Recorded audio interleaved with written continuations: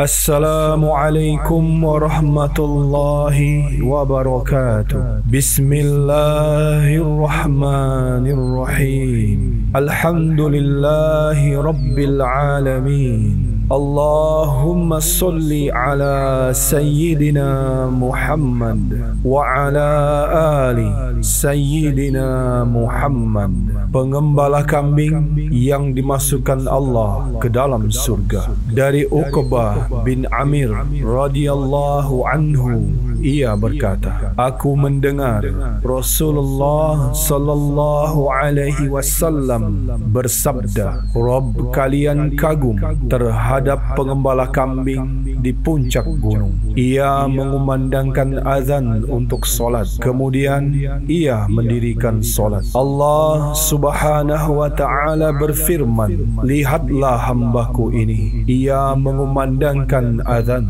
dan mendirikan solat karena takut kepadaku. Sesungguhnya aku telah mengampuni hambaku tersebut dan aku akan memasukkannya ke dalam surga sahabat fillah yang dirahmati Allah. Demikianlah terjemah hadis Qudsi yang diriwayatkan oleh Imam Abu Daud ini. Dari hadis ini kita bisa mengambil pelajaran betapa agung dan utamanya ibadah solat dalam agama Islam ini. Sehingga dalam keadaan bagaimanapun sesulit dan sesibuk apapun kita, hendaknya kita tetap mendirikan solat dan jangan pernah meninggalkannya. Karena bila solat bisa menyebabkan seseorang masuk ke dalam surga atas izin Allah sebagaimana kisah pengembala kambing tersebut maka niscaya meninggalkan solat akan menyebabkan akibat akibat sebaliknya, yakni